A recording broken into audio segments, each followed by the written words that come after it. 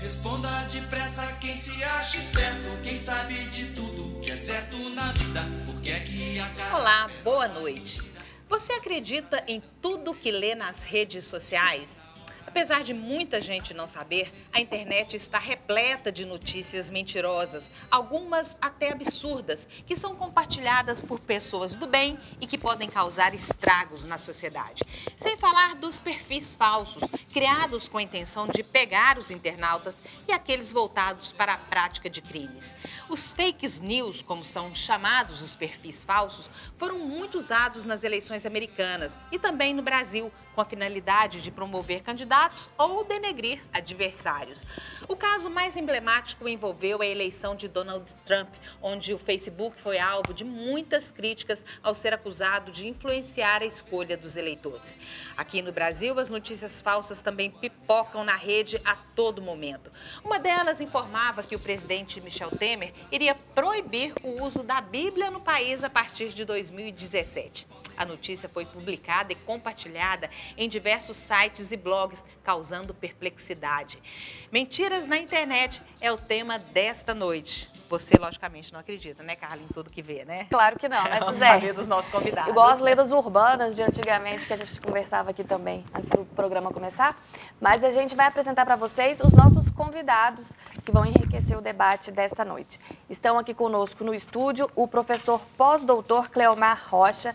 Ele é coordenador do Media Lab é, da Universidade Federal de Goiás e também é secretário municipal de Ciência, Tecnologia e Inovação de Aparecida de Goiânia. Muito boa noite. Muito boa noite, um prazer discutir esse tema, um tema tão importante e em, plena, em pleno processo de discussão global.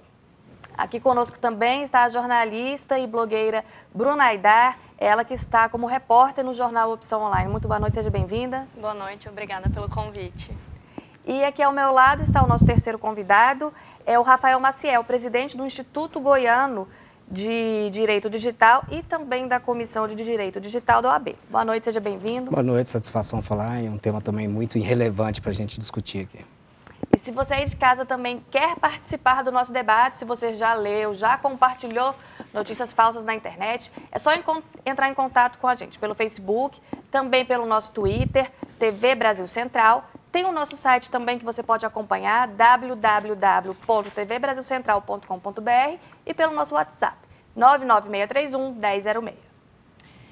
Esse tema é tão empolgante, ele é tão interessante, e como você disse, está no momento em discussão em todo o mundo. Mas a gente discutindo a questão do jornalismo, as TVs hoje trabalham muito com vídeos que são enviados por uhum. telespectadores. E a gente, é, eu fico pensando o seguinte: não existe, isso não foi, é, não existe dentro do manual de jornalismo um, um procedimento para você adotar quando você recebe esse tipo, esse tipo de coisa. Então isso vai do feeling mesmo do jornalista. E as redações já estão é, monitorando isso no intuito de não divulgar notícias falsas e que não só venham prejudicar alguém especificamente, mas que tragam aí algum tipo de dano à sociedade, né? A Carla falou nas lendas urbanas. Esses, esses, é, essas mentiras virtuais, elas, elas são a continuidade disso? Mentiras sempre. É, nós sempre tivemos mentiras em toda a época. Vou começar com você, professor. Mentiras sempre existiram, não é nenhuma novidade. Entretanto, o tipo de repercussão que isso acarreta, é, isso sim é uma novidade. Primeiro, porque quem acessa a internet está postando uma informação em praça pública, portanto, não está fazendo um comentário somente com o vizinho, você está divulgando isso de um modo geral e perdendo uma noção de tempo, porque essa notícia pode ser retomada a qualquer momento no futuro e ser tida como uma verdade descontextualizada. Então, é, é, essas duas novidades, a questão temporal e a questão espacial, a abrangência dessa notícia em termos de é, repercussão e a temporalidade dela que se perde, ela se torna atemporal, isso sim é novidade na mentira, o que faz com que ela desenvolva uma musculatura muito maior e uma agressividade muito maior. Bruna, no meio jornalístico, hoje o Facebook, WhatsApp, eles são fontes de informação. Nós consultamos essas redes sociais, não só para fazermos pauta, como para confirmarmos muitas coisas. Né? É, no seu caso especificamente, você tem algum procedimento para tentar ah, descobrir se alguma notícia é falsa ou verdadeira? Olha, na verdade, a gente tem vários procedimentos né, que a gente precisa adotar, na verdade, como jornalistas. É, um jornalista, no momento de produzir uma notícia, ele tem uma série de padrões que ele precisa seguir. É, a gente costuma buscar mais de uma fonte. É, às vezes, alguém fala algo, por exemplo, sobre é, que envolva a polícia, que é uma fonte oficial. Então, você ouve a polícia, é, ouve outras pessoas que podam, possam estar envolvidas nesse processo. É, a checagem, a, a cruzada de dados né, também é interessante de ser feita, ver se algum outro portal já publicou aquilo, se algum outro site tem aquela informação. É, as fotos também acho que são importantes, porque Muitas vezes você, um dos casos emblemáticos recentemente, aliás, foi de umas crianças que teriam sido raptadas e é, vítimas de tráfico de órgãos.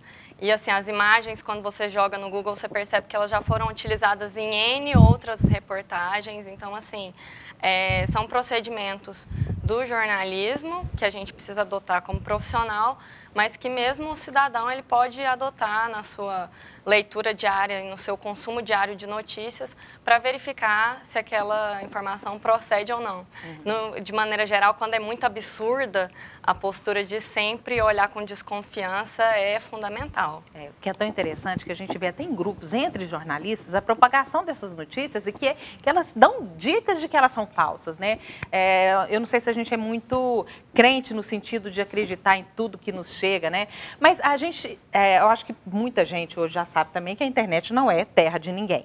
O que se faz na internet, você deixa rastros e é possível se descobrir.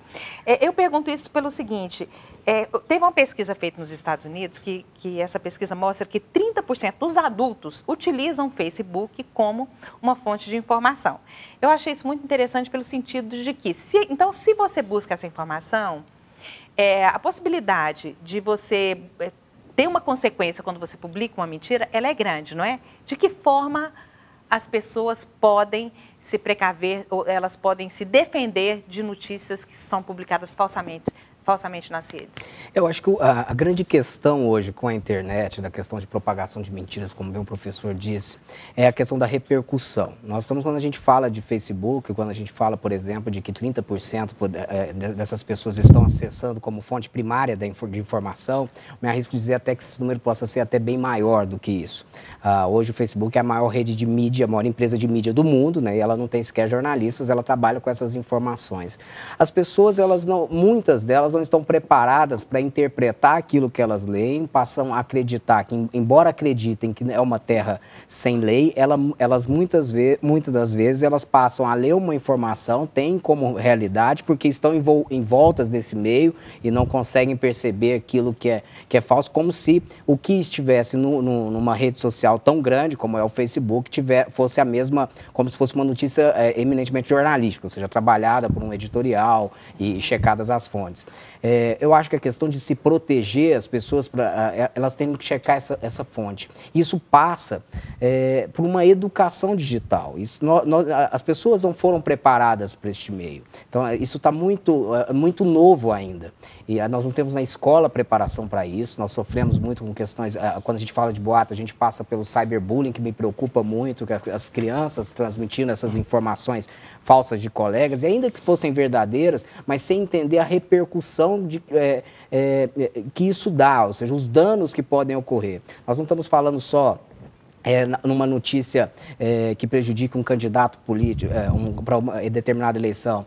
Nós estamos falando de, de notícias de concorrentes comerciais que produzem notícias falsas sobre o outro e aí leva uma empresa a uma quebra. Estamos falando de crianças que ficam o resto da vida com o seu nome vinculado em, e depois para procurar um emprego uh, você tem joga o nome daquela determinada pessoa e aí você sabe uh, sai alguns blogs que foram construídos para difamar e, a, e acaba vinculando eternamente sem dar aquela, aquela, aquela oportunidade de se, de se defender, né, de dar o contraponto e vira verdade isso. Então, assim, recrutadores que usam essas informações, então acho que não, é, não são só as pessoas, acho que toda a, a sociedade ainda está engatinhando com, essa, com entender a, a, a potencialidade de dano da, da internet, especialmente porque hoje nós não estamos falando só de redes sociais, uma preocupação que tem a questão da indexação, da coleta desses dados, cada vez mais dados coletados em vários meios, esses dados são tratados e, e, e, e expostos de uma forma que a gente nunca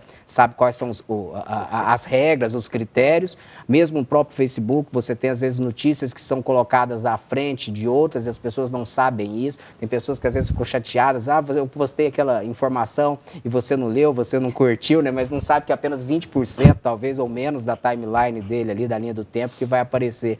Então, ainda tudo é muito novo, nós não sabemos uh, checar essas fontes, nós não sabemos também entender como que essa tecnologia ela trabalha essas informações. Nós achamos que tudo isso é muito natural e que Google é só uma grande biblioteca, que Facebook é só faz o bem e, e, e ter uma expressão em tecnologia que fala que tecnologia não é boa nem má, né? mas também não é neutra. E a gente precisa entender como que ela atua em cada, cada momento para a gente se defender também. Eu queria perguntar para você, aproveitando esse gancho da como o senhor é presidente da Comissão de Direito Digital da OAB, sai um artigo é, no Observatório da Imprensa, agora em dezembro do ano passado, do Carlos Castilho. E ele diz uma afirmação, eu quero saber até se os outros convidados também concordam, que esse é um delito com alta chance de impunidade. É, a, a, gente primeiro entender qual que é o delito, porque o, a, o fato de uma notícia falsa pode ter várias, várias consequências. Pode ser uma, uma injúria, pode ser incitação à, ocorrência de um crime. Eu posso citar igual aquele caso da, da, da, da menina do Guarujá, né, que falavam que, que ela, não sei se cometia, fazia abuso com, com crianças. Né? Ritual, de raptava, ritual de magia negra. Ritual de magia negra é e foi linchada.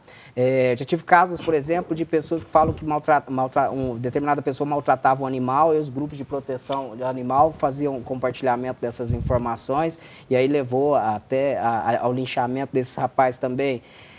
E depende do tipo de crime. Agora, fato é que o simples fato de a, a simples situação de você passar um boato é, é, é, muito difícil você tipificar como um crime, né, ah, se não tiver uma consequência a partir daí. Então, então o, o, o ideal é que isso não seja propagado.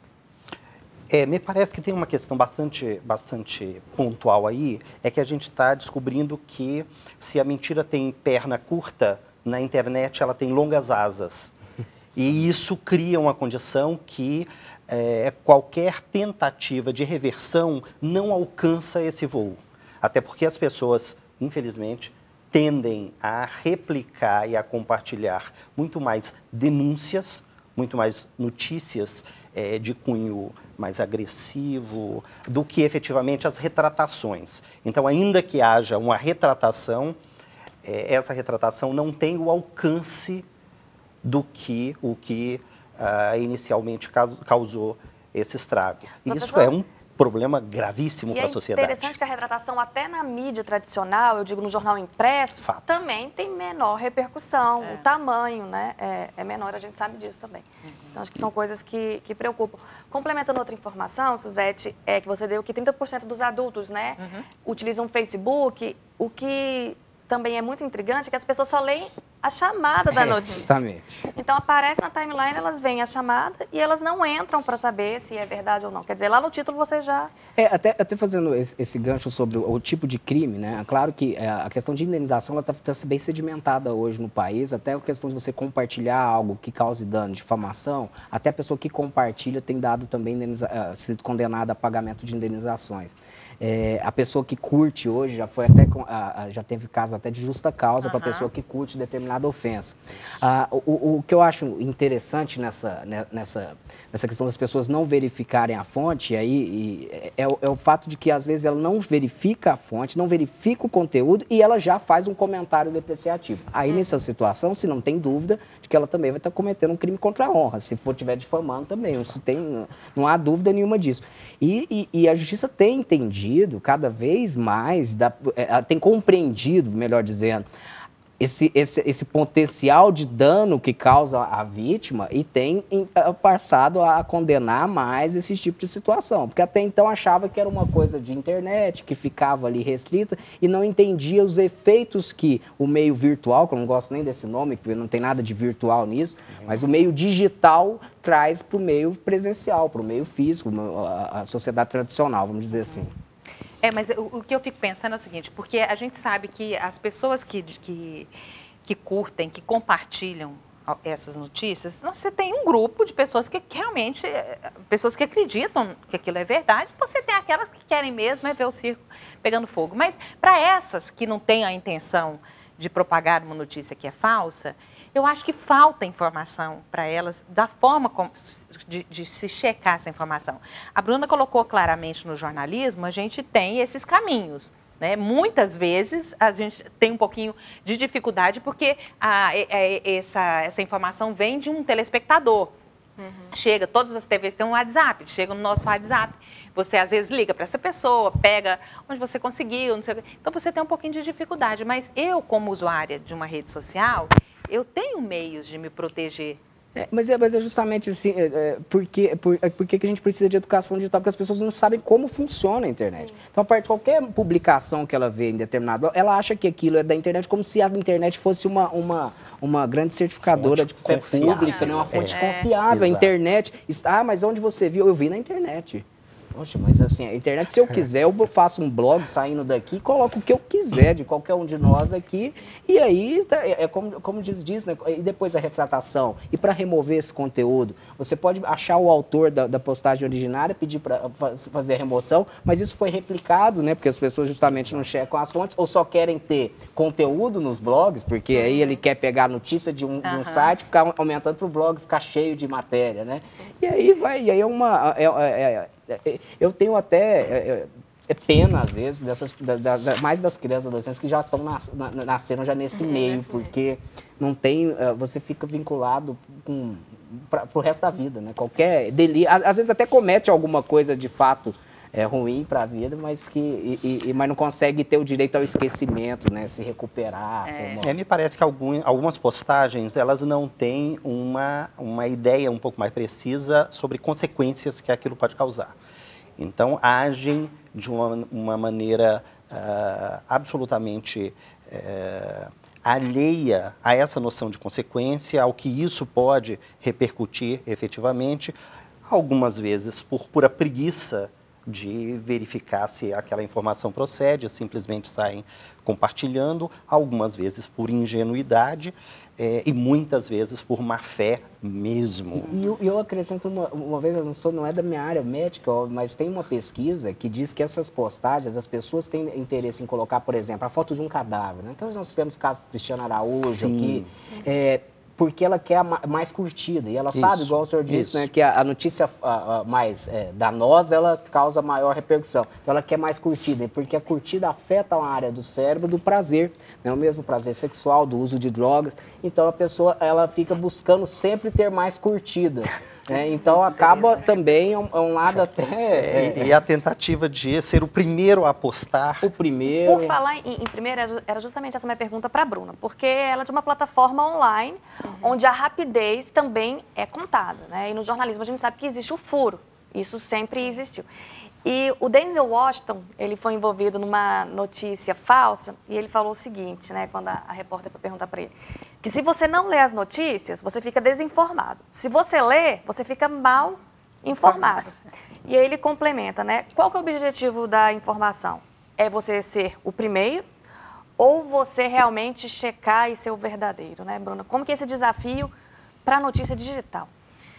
Então, é um dilema que todo jornalista enfrenta a cada nova notícia que você sobe para o site. Não tem uma fórmula.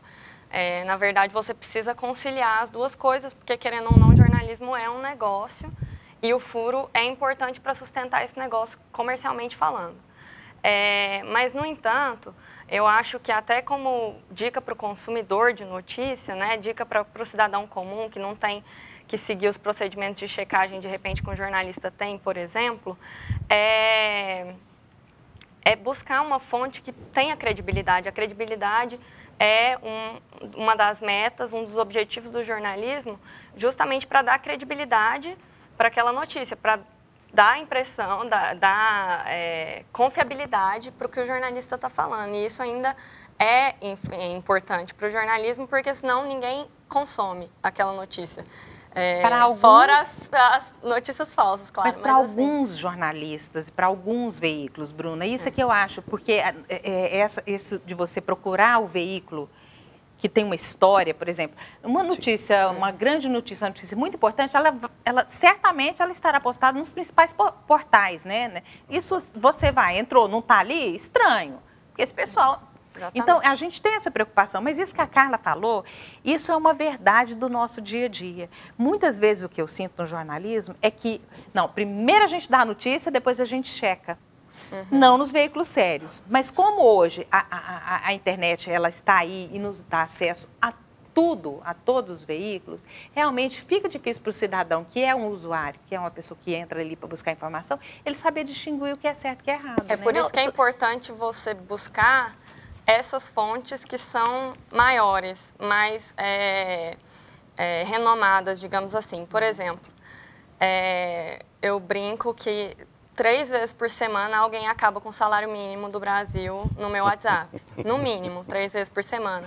É, o filho do Lula é dono de três estados, no mínimo, do, do Brasil. Então, assim, se o filho do Lula fosse dono de 70% do estado do Pará, algum grande veículo de mídia noticiaria isso.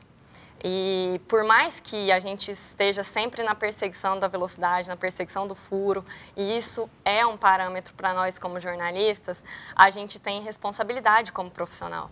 Eu não posso publicar é, fulano roubou alguém porque eu incorro em crime fazendo isso.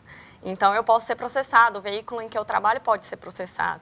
Então, por mais que a pessoa, às vezes, tenha suas ressalvas em relação à credibilidade de um veículo como a Globo ou um veículo como a Folha de São Paulo, eles ainda são é, grandes conglomerados de mídia, ainda são é, veículos que têm que responder por qualquer eventual informação errada que eles derem. Uhum. Então, assim, é, o problema também é que eu acho que a gente precisa lembrar sempre que notícias falsas são um mercado, entendeu? E aí a gente vê vários sites que têm nomes chamativos ali, às vezes eles apelam para a emoção ou para a nacionalidade, né, para o nacionalismo, desculpa.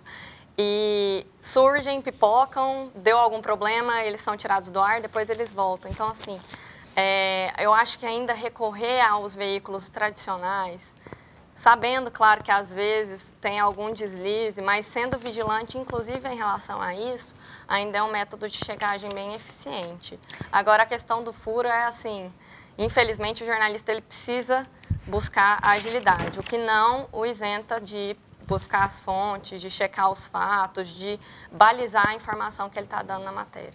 Certo. Nós vamos para o nosso primeiro intervalo comercial. Lembrando que você pode participar do nosso programa através das nossas redes, principalmente o nosso WhatsApp. E nós vamos voltar daqui a pouco ouvindo o que a população pensa desse assunto. Nossa equipe de reportagem foi ao Terminal Isidória a ter um papo com os nossos telespectadores. A gente volta já já. Porque aqui na hora da grande verdade, às vezes o povo se esconde, se esquece.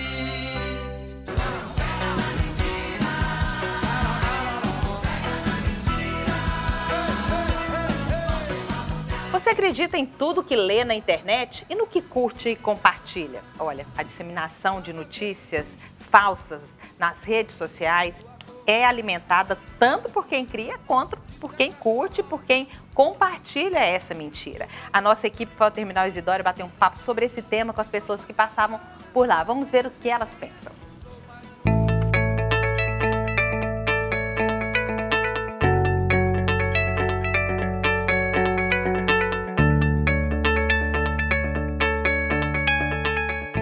Imaginou ter sua imagem usada para arrecadar fundos pela sua saúde na internet por uma doença como o câncer que você nunca teve? Pois é, essa é apenas uma das mentiras que circulam todos os dias na internet, nas redes sociais. E você, já viu alguma notícia falsa na sua timeline? Já, já sim, várias vezes. Já, com certeza. Só que a gente não tem que ter um certo cuidado de estar tá abrindo e tudo, porque hoje em dia a internet só tem coisas bem, né? Então tem que estar sempre observando. Já, com certeza. A gente vê muito, né? Você, já, você lembra por acaso de alguma agora? Teve o negócio do presídio, que muita gente falou que fugiu tantos presos, mas na verdade não aconteceu foi nada. Mensagem que a gente é, é, recebe para ligar, que vai ganhar crédito, liga, manda não sei o quê. A do WhatsApp tem bastante, aquela de chegar, manda que seu WhatsApp muda de cor, isso aí tem bastante. A questão de sequestro de parente. E aí eu já fui ligando já para a pessoa e já sabia que era mentira. Então, assim, sempre tá observando o que, que você está abrindo, no caso. E você costuma compartilhar esse tipo de notícia? Não. Raramente eu compartilho alguma coisa. Você não vai compartilhar qualquer coisa, né? Porque é, é você é inscrita ali. Não compartilho, porque aí você já vê que é falsa, né? Pra que, que vai compartilhar, né? Não corrente, essas coisas, não compartilho nada. Na maioria das vezes a gente já vê que é uma coisa falsa, que não é uma notícia verídica, então eu já descarto logo. Não passa. Tenho medo de ser vírus, então já nem, nem passo, nem abro. Não, às vezes eu leio para enviar e quando eu só olho, eu apago. Não, não, não envio, não. De vez em quando, sim. Mas sabendo que é falsa? Mesmo sabendo que é falsa. Por que, que você compartilha? Ai, sei lá, eu acho que é força do hábito. Eu geralmente deleto, né? Que é o correto a se fazer. Compartilhar só tá dando mais brecha para que aconteça esse tipo de coisa, né?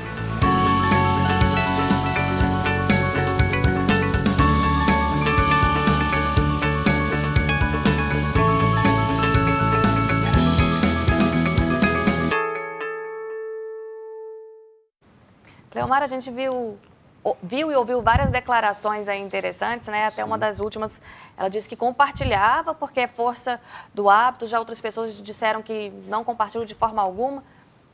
Dá para explicar por que algumas pessoas, mesmo sabendo que a notícia é falsa, a, a, o, o, que as leva a compartilhar? É, existem algumas, algumas boas razões, outras nem tanto, para esse compartilhamento.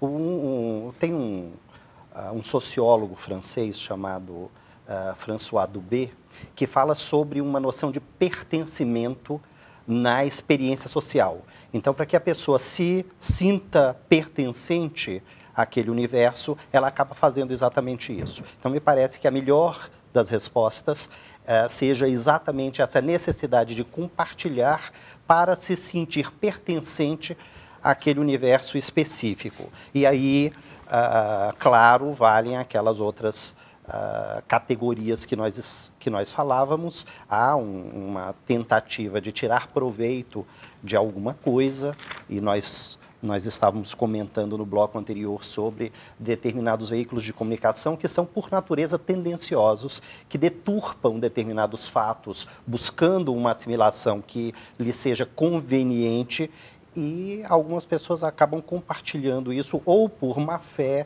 ou por preguiça de uma verificação uh, ou mesmo por um hábito para se sentir pertencente a um determinado grupo de compartilhamento. Professor, e tem essa coisa também de ser o primeiro, né? Uma ansiedade de que eu seja a primeira pessoa a colocar aquilo ali. Parece até uma doença. E, e o desejo é tamanho que as pessoas ainda, uh, ainda é, postam aquelas, aquelas uh, notícias ou falsas notícias ou mesmo correntes ou aquele desejo de simplesmente verificar se as pessoas leem o que elas postam. Né? Então, se você leu isso aqui, por favor, cole, compartilhe, uhum. curta. É, enfim, é um, um desejo tamanho de verificar se o canal funciona que muitas vezes é, essa replicação indica naturalmente essa área de pertencimento, uhum. Essa Zé. verificação então, de rede. Até o compartilhar, compartilhe e depois volta na rede social para checar se alguém já leu, se alguém já assistiu, é, se alguém já... É, para ver que o furo não é só nosso. É, né? E ainda pedem, olha, faça isso e me avise que você fez, para eu ter certeza que você é meu amigo. Cria esse, esse ciclo vicioso, né? Porque, na verdade, na próxima eu quero fazer então alguma coisa que chame mais atenção, porque dessa vez só 10 curtiram eu quero É Mas uma- a Suzete falou algo muito interessante, né? Por que, que as pessoas querem compartilhar primeiro? E isso passa tanto, eu acho que, por pessoa, por algo comum, por exemplo, um, um acidente aconteceu na sua família. Às vezes você é a primeira a colocar no grupo do WhatsApp. Você quer passar essa informação.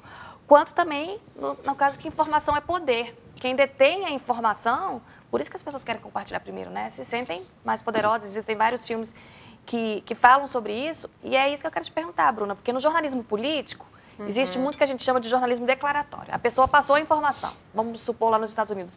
O Donald Trump falou uma mentira, mas o jornalista ele está, digamos, reproduzindo uma versão. Você não acha que é muito mais tênue é- essa linha no jornalismo político? É muito mais difícil? Controlar o que é verdade, não? Isso. É, é assim, eu acho que também é muito importante fazer uma distinção justamente do que é a fala do jornalista e do que é a fala da fonte. O jornalista ele tem uma função clara que é mediar a informação. É pegar a informação de uma fonte e transmitir, né, e ser um, um meio de canalizar essa informação para quem consome. Inclusive, por ter esse papel de ser só quem replica aquilo, a menos que ele faça jornalismo opinativo, é, às vezes o jornalista é até usado pelo, pela, pela fonte. fonte.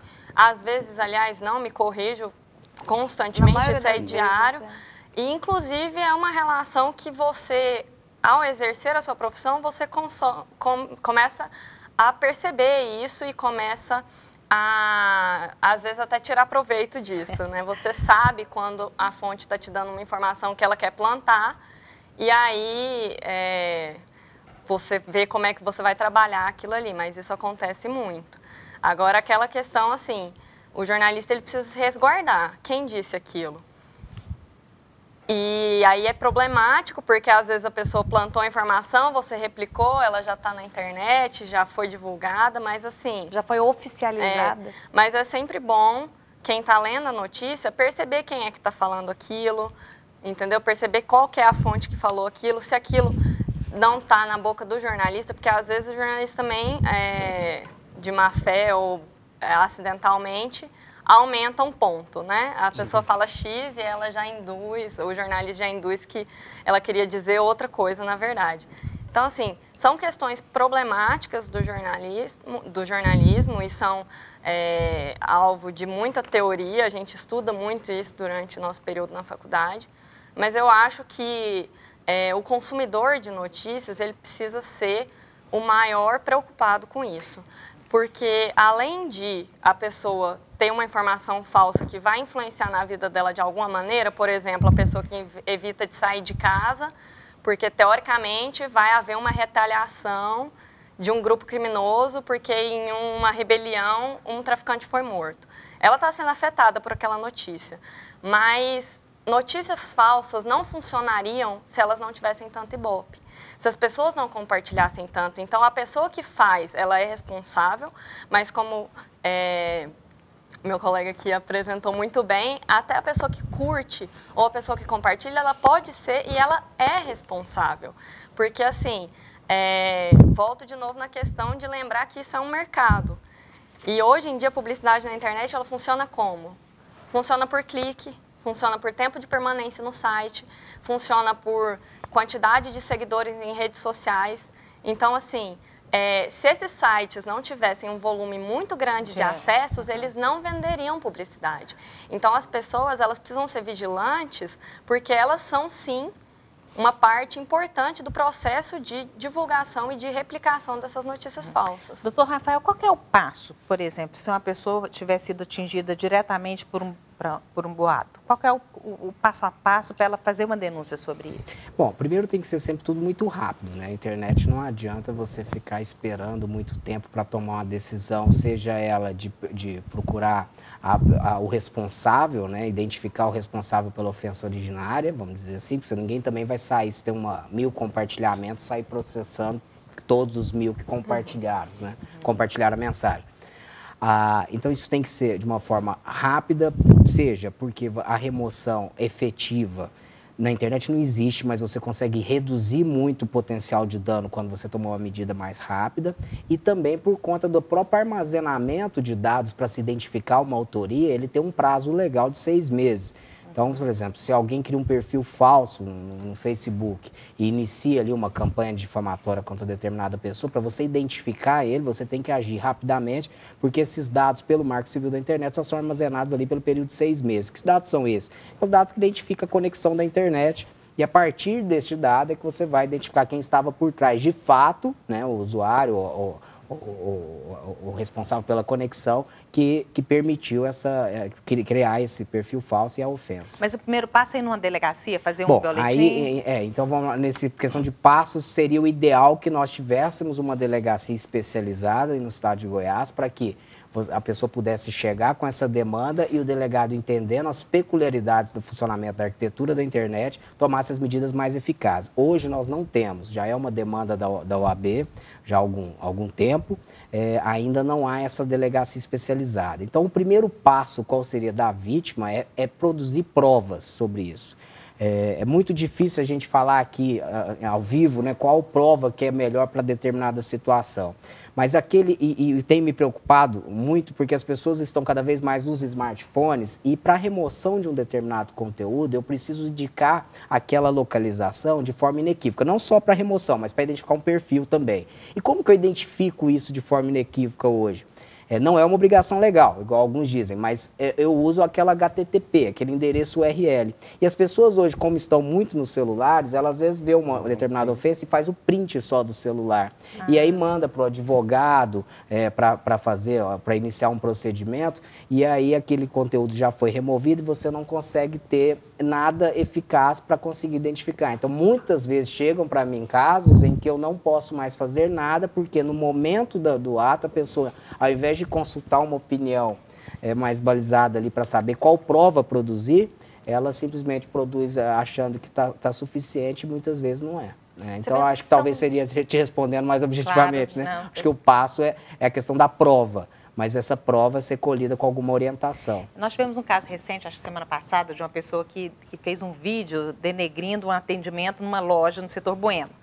E aquilo, a, a, aquilo ali é, teve um, um, um, se tornou grande, mas a Polícia Civil conseguiu provar, comprovar, parece que não, terminou ainda a investigação, mas pelas, pelos vídeos que tinha, na, pelas, pelas filmadoras que tinha na loja, eles viram que nada daquilo aconteceu. A loja veio na, nos, mesmos, nos mesmos veículos, nas mesmas redes sociais, explicando o que, que tinha acontecido. Então, eu estou citando esse exemplo só para dizer que é, você pode buscar uma forma de, de, de ter uma reparação. Sim, né? inclusive, você... inclusive empresas contra consumidores que às vezes abusam do seu direito de reclamar e acabam, ao extrapolar esse limite, também cometem um ato que a gente chama um ato ilícito e aí estão sujeitos também à indenização, é, os próprios tem... consumidores. Você citou o caso lá da rebelião. Gente, quem andou em Goiânia naquele dia viu que muita gente ficou em casa, a cidade tava, ficou deserta, né? Quer dizer, muitas pessoas foram afetadas por uma grande mentira, né? Só está dentro da universidade, isso é, isso é ensinado aos alunos? Isso é comportamento, isso é caráter, isso é o quê? É, eu acho que é uma mistura de tudo. Na verdade, nós estamos falando muito mais de cultura do que de educação. Há uma ausência de cultura digital, de verificar. Primeiro, primeiro talvez porque tenhamos partido de uma relação equivocada, e Rafael já havia colocado aqui, de virtual. Nós criamos uma condição de que a internet não se uh, qualifica como algo real.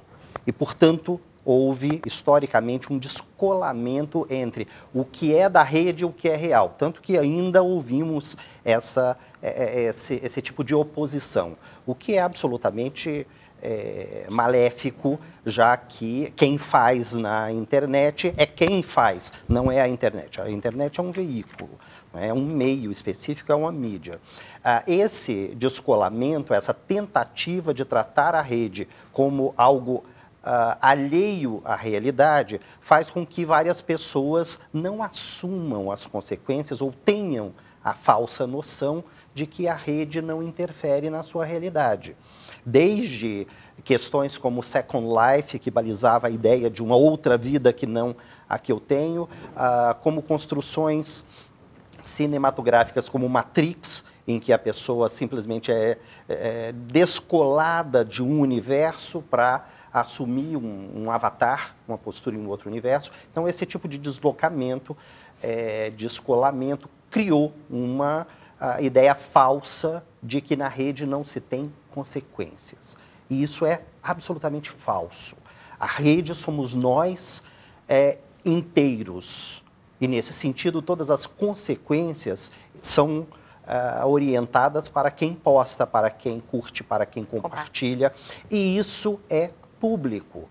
É, nós sabemos que no início da, da rede, uh, várias pessoas fechavam a porta do seu quarto e abriam a janela da internet. E ali uh, lançava uma série de comentários achando que havia um tipo de anonimato, de anonimato, de não há, não há é, a, a, a, internet é tão real quanto a minha dor de cabeça. Ela é tão real quanto uma sede.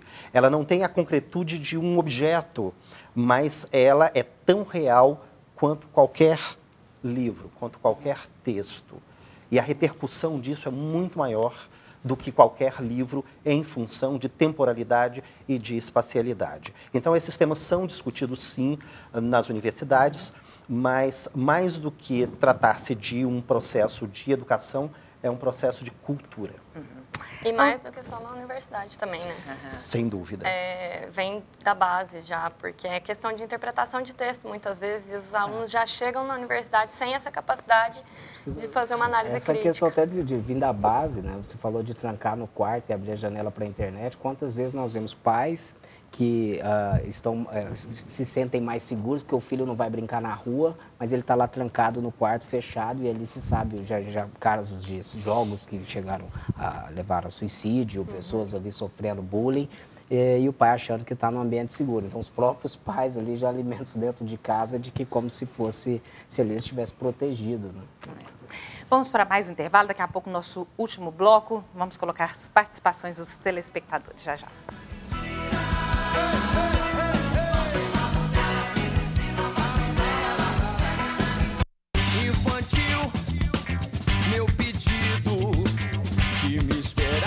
Bom, eu quero abrir, abrir esse bloco dizendo, Carla, minhas colegas lá do estúdio Balance mandaram um abraço. Eu sempre estou com elas nesse horário, só porque você nunca vem segunda-feira, porque eu estou na televisão fazendo programa ao vivo. Um abraço aí para vocês. É, Bruna, fala para a gente, você disse que lembrou de um caso é. Uma, uma, mentira disseminada na internet? Foi, na verdade, é, eu não sei se vocês conhecem, mas existe um site aí de humor na internet que chama Não Salvo. E de vez em quando eles se propõem uns desafios. E me chamou muita atenção, acho que inclusive é, é uma pesquisa e diz muito sobre o comportamento da mídia atualmente, atualmente, que foi o seguinte, eles se propuseram a inventar que a Coreia do Norte tinha mascarado para os seus cidadãos que, na verdade, quem tinha ganhado a última Copa do Mundo foi a Coreia do Norte. E aí, enfim, ele começou todo um processo de produção dessa notícia falsa. Ele, ele conseguiu é, uma pessoa para falar coreano, conseguiu fazer a legenda no Google, conseguiu botar esses vídeos na internet como se a Coreia do Norte, o governo da Coreia do Norte, estivesse veiculando propagandas em que eles ganharam jogos de 10 a 0, de 15 a 0 e que no final das contas eles se sagraram campeões. Enfim, eles soltaram essas informações e alguns veículos importantes, inclusive, da mídia internacional, replicaram isso como se fosse verdade. Então, assim, foi um desafio, uma é, brincadeira, né, entre aspas, assim, que ele falou até onde a gente consegue levar isso. E Na época da Copa do Mundo, nós tivemos notícia. alguns casos de algumas notícias que foram veiculadas Sim. por grandes veículos, né? Que... E mostra o tanto que é fácil fazer isso. Uhum. É. Pode verdade, parecer grandes, difícil, mas não é. Grandes eventos, eu acho que são um terreno fértil para que essas informações falsas, né? Sim. É, e, certeza. gente, diz que existem, tem, tem um, um site que chama Falsas Notícias. Sites que são criados para disseminar notícia falsa. Você, é, ele funciona como um gerador de artigos inventados em que o usuário pode criar exatamente, deve ser esse que você está colocando. Ele pode criar um título, escolher uma imagem, gerar um link. Aí, na hora que você vai clicar, ele vem, vem a informação de que aquilo, é, é, de que o usuário tinha caído num trote.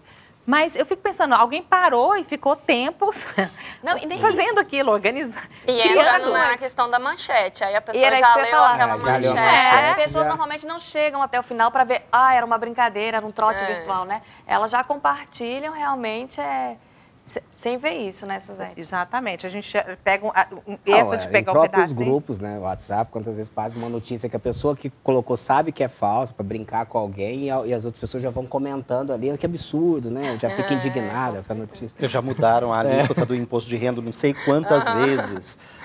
Enfim. É, agora eu, fico- eu acho que a gente podia aqui, só para a gente reforçar um pouquinho esses passos, eu achei muito interessante o que a Bruna colocou em, re- em relação ao que a gente faz no jornalismo. E, e teve um, um- um site também que ensinando um pouquinho, até o próprio Facebook está tentando né, meios de, de- de pegar isso. É possível? Você estabelecer? Nós, nós estamos vivendo uma tendência porque é, o problema repercute de modo tamanho e cria tantas condições maléficas na sociedade em uma estrutura global que vários, várias empresas dessa área estão buscando meios e modos de uma verificação. E essas verificações elas são é, vistas ou elas são tidas a partir da chamada web semântica, web 4, ah, 3.0, 4.0, que faz exatamente esse tipo de é, cruzamento de dados na tentativa de verificar a procedência disso. Então, é possível essa verificação. Facebook, Google ah, já estão buscando determinadas ferramentas, até porque são- estão cientes de que, na permanência desse tipo de comportamento, eles perdem espaço É, eh, na porque mídia. na realidade, eles querem que você consuma determinadas notícias reais para traçar o seu perfil de consumo e eles venderem mais publicidade com você. Isso. Para os consumi consumidores. Agora, o que me preocupa é o seguinte, a gente, eles passam a verificar a fonte de determinadas informações, mas ninguém fiscaliza eles. Né? Então, assim, a partir do momento em que eles também, com determinado tipo de conteúdo, passam a privilegiar determinada informação que pode favorecer um, um- um candidato numa eleição, pode favorecer um golpe de, eh, de um governo, pode tirar até um, um- ditador, ou que não seja um ditador de, de determinada, ah, de determinado país, por conta de, de- de, eh, o algoritmo trabalha essas informações, coloca como verdadeiras, mas ele intensifica aquelas informações que melhor lhe aprover ali para os seus interesses. Mas em alguns momentos eles são sabe. chamados sim. Nós, nós já passamos por alguns momentos, por exemplo, de que o WhatsApp foi descontinuado por algum período de tempo em função de não responder à justiça o que Não, a justiça não, a questão maior, buscava. eu digo a questão dele trabalhar essas informações e colocar nos seus resultados, algumas com uma preferência ou alguma visualização maior para os usuários, do que ah, outra que para os seus negócios talvez não sejam tão favoráveis. Então, É que além é, é o quarto, sem Quarto dúvida. poder. Isso, É, é, sem é dúvida. É. Isso. É que além da questão da responsabilização do- da plataforma, que não deixa de, de ter certa responsabilidade porque está dando um espaço para aquelas notícias serem replicadas, também tem a questão da filtragem. Como é que então, ela é mas feita? Isso, é porque esse tipo, a filtragem, ela, ela é, é segredo de negócio, tanto do Uhum. Google quanto, por exemplo, nas redes sociais. Então, a- ainda se tem essa percepção de que isso- o que coloca lá vai por ordem cronológica. Tem muitas pessoas que têm essa, essa, Uhum. visua- essa, essa imagem, e não é. Elas trabalham aquilo ali com determinados, é, re- determinadas regras que a gente não sabe quais são de fato. né? Isso me preocupa, não é um, um cenário é, orle- orwelliano, né? uma, uma preocupação muito do Big Brother, mas eu tenho muita preocupação justamente desse quarto poder, que de fato já o é. Né? Assim, eles têm uma, uma, uma capacidade de, de É, mobilização esses muito esses algoritmos trabalham em função de algumas, algumas ações patrocinadas, e aí, Sim, claro, sim, não, que é venda, é o que- depois por buzz na É, a rede. dos patrocinados é tudo bem, porque ainda parece patrocinado, né? Algumas É, vezes, outras al- vezes As que a gente sabe, o resto Não. a gente não sabe o que acontece. Isso. E se eu soubesse, É. com certeza eu estava bem. É a regra de negócio milionária deles. Olha, chegaram várias participações aqui. É, o Divino André disse que ele acha uma vergonha essa questão das fake news, que a gente, né, é o tema de hoje. Tem também aqui a Denise Guarita. Ela diz que em relação às pessoas que compartilham mentiras achando que são verdadeiramente, que são verdades, São verdades. inocentemente, né? Que ela recebe essas notícias sensacionalistas no WhatsApp no Facebook, que sim, ela duvida, mas e que ela até avisa a pessoa quando é alguém próximo que compartilha, ó, isso, porque às vezes a pessoa realmente Engraçado, lendo aqui, antes até de fazer a pergunta dela, Suzete, eu lembrei de um grupo de jornalistas que a gente faz parte no WhatsApp, e jornalista replicando informação que não era verídica. Aí o, o, o, outro colega fala assim, gente, a gente é jornalista, como é que você replica num grupo de jornalista uma informação sem checar? Tipo assim, vamos ter mais cuidado é. no nosso próprio grupo. Não sei é, se a Suzete se lembra. Lembro. E assim, é, é, essas dicas, tem um, uma que eu acho que, que, é, que é da questão da data que você estava colocando, né, Bruna? É, geralmente essas, essas, essas notícias falsas, elas não têm uma data nem um local. Né? E muitas pedem para você compartilhar.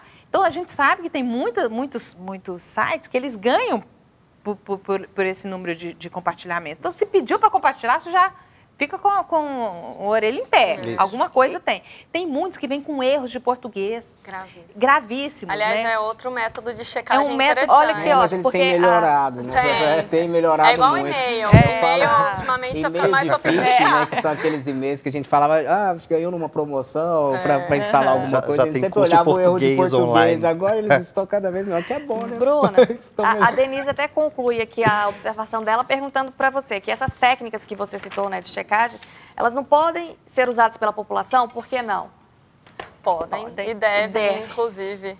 É, eu acho que, às vezes, entender um pouco da, do processo de produção de notícias e dos processos é, de, de correção ética do jornalismo, todo mundo devia saber um pouco, sim, porque são questões práticas, né? Como a gente apontou aqui, não é uma coisa subjetiva, são maneiras realmente é, palatáveis de você checar a veracidade ali daquelas informações. É, é, caixa alta também no meio do texto, tem algumas coisas que a gente pode tentar é, descobrir. Já desconfia. E tem outras formas, né? Vamos nos claro, informar, né, professor? Exatamente. Fala pra gente um pouquinho, tecnologia é, e sociedade. Isso, no Media Lab nós desenvolvemos uma série de pesquisas que resultam em publicações, essas publicações, todas elas têm distribuição gratuita pelo nosso Media Lab, o Laboratório de Pesquisa, Desenvolvimento e Inovação em mídias interativas, que é um órgão da Universidade Federal de Goiás, uhum. e nós temos discutido esse tema, problematizado esse tema e buscado alguns,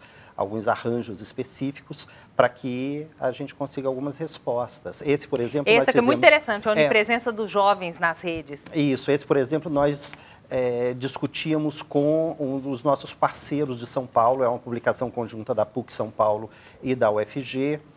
Uh, esse que você tem nas mãos agora é um, um, livro que eu escrevi, que nós conseguimos o prêmio uh, de melhor publicação da área no ano da sua publicação. Enfim, a gente tem tido uma série de pesquisas que apontam algumas respostas bastante interessantes, algumas razões e algumas motivações é, desse tipo de comportamento em mídias pós-massivas. Certo, tem, tem uma Suzete aqui, né, Cláudia? Tem, sua xará, né? é... professora Suzete Venturelli, da UNB. Onde, onde você falou que essa é uma distribuição gratuita, onde a gente consegue? Pelo, no Media Lab, na, no nosso laboratório que fica no campus Samambaia, uhum. da Universidade Federal. Certo. A gente tem filme também, né, Carla? Tem filme, sim. E a nossa produção separou para vocês até um filme que está em cartaz. Eu quero saber se algum dos nossos convidados assistiu, que é o Internet. Não, não, não novidade não. aqui. É. Ficou todo mundo caladinho. Mas é um filme nacional e ele conta, ele retrata a vida dos youtubers e a sua influência no comportamento dos jovens. Né? O filme colabora com a discussão sobre a criação de personagens para o encantamento dos internautas e, na, ver, na verdade, também a própria exposição que isso causa, né? Porque a pessoa se coloca como é, o detentor da notícia, ela ganha, digamos, esse glamour, esse poder, mas ao mesmo tempo ela tem a vida exposta. É, vocês também, como mexem muito nesse meio, teriam dicas de filmes para passar para gente? No nosso blog a gente sempre tem, né, sempre Suzete? Tem. Gente. Eu, eu, vamos ver, Pe pegando é... de, de, improviso, mas vamos ver. Não, eu tenho um que mexeu muito comigo, que eu acho que tem muito a ver com essa questão das mentiras ou, ou dos, dos, impactos, que é um documentário que tem gratuito no Netflix, gratuito no Netflix, só para quem tem, quem tem Netflix. É, para quem paga Netflix. É, para quem paga o Netflix. É uma notícia falsa, gratuito é. do Netflix. Não caiu Já corrigi, já não deu tempo de compartilhar. É, ainda bem. Essa foi ótima. É, que chama Audrey e Daisy. É uma história de meninas que sofreram problemas também de, de bullying e, e, e, conta toda essa a repercussão, os impactos no, no meio digital da, da, da, das, do sofrimento que elas passaram, tudo. E é, é, é muito tocante. Eu acho que foi uma, não, não, não é divertido igual o que você indicou, mas é bom para refletir.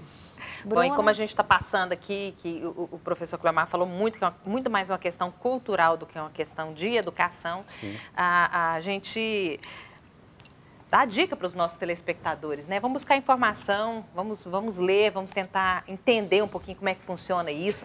Vamos ser um pouquinho mais como é que a gente fala isso? Criteriosos, e né? Responsáveis, né? É. Me parece que é Cético uma questão de, de responsabilidade. Você tem dúvidas em relação àquele conteúdo, não há meios ou não há tempo de uma verificação simples, não compartilhe. Simples uma assim. campanha de uma, ah, uma campanha que tem na internet para justamente combate a bullying, que é o pense antes de postar. Né? Isso. Tem alguns vídeos. Pense antes de Se postar. a gente vai fazer conseguisse, bem né? para alguém. Para, pensa, realmente. É. Isso vale até num- Uma numa, numa conversa entre amigos, né? Pensa antes de, de você dar o clique, né? Mas essas dicas que a gente colocou aqui, elas podem te ajudar muito. Olha, tem erro de português?